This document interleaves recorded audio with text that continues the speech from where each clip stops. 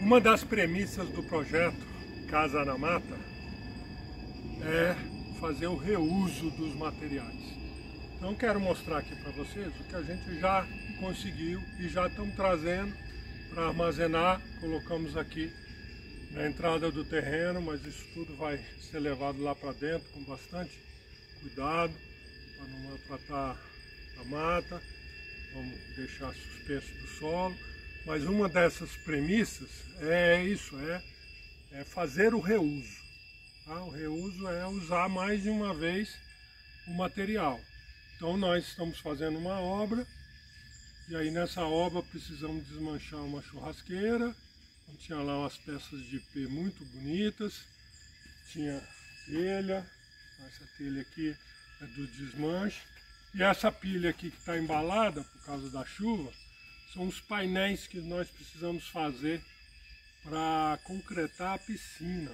Então os painéis com um compensado plastificado de um lado e uma armação de, de madeira de pinos.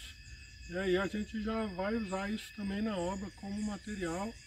A ideia é fazer um painel sanduíche com o a placa cimentícia do lado de fora, né, que vai, vai pegar chuva. Então nós temos aqui as telhas, temos umas pedras que tinham um calçamento, aí essa, essa madeira, né, os painéis e umas vigas aqui de IP.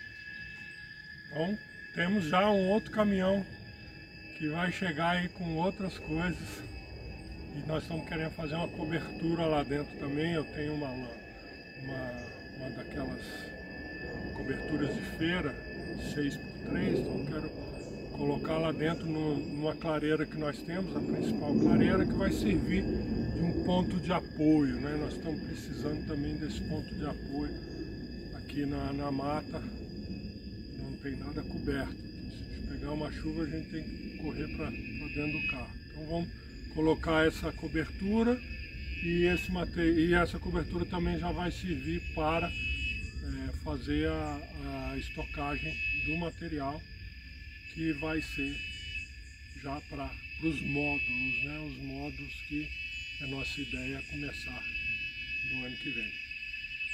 Até a próxima.